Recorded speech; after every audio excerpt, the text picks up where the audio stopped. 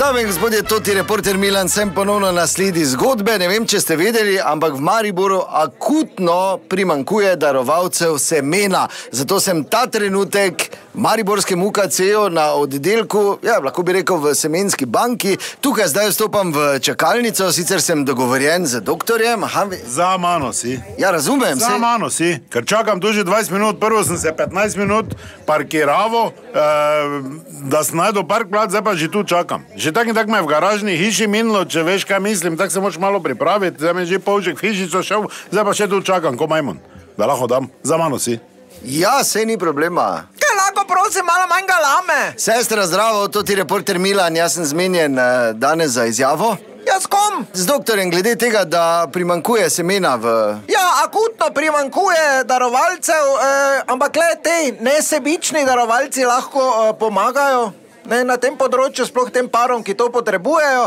E, Glede, anonimno je vse skupaj, darovanje, žal nekega materialnega nadomestila ne moremo omogočiti, e, razen pač e, stroške, ki nastanejo pri tem e, dejanju. Ne?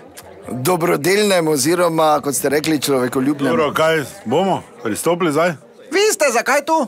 Mleko sem pripeljal. Kako prosim? Ja, to, kaj rabite, sem tu. ja koliko ste stari? 58. 58.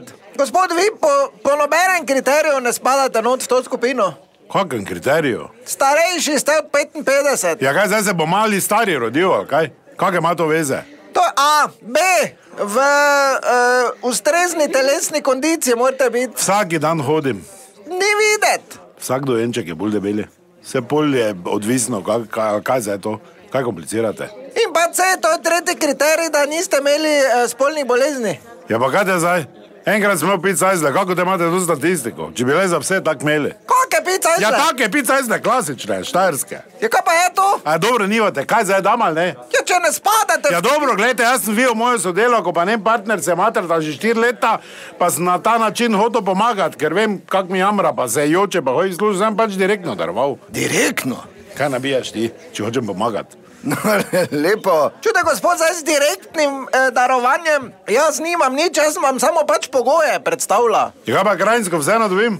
Jaz sem lačen kot pes, da Doma pa krvodajalci. To tudi kurite skupaj. Dobro, je, adijo. Dobro, kot vidite, vseeno obstajajo določena pravila in kriteriji. To je bila še ena zgodba, raziskoval sem jo tudi Milan, od krivice do resnice.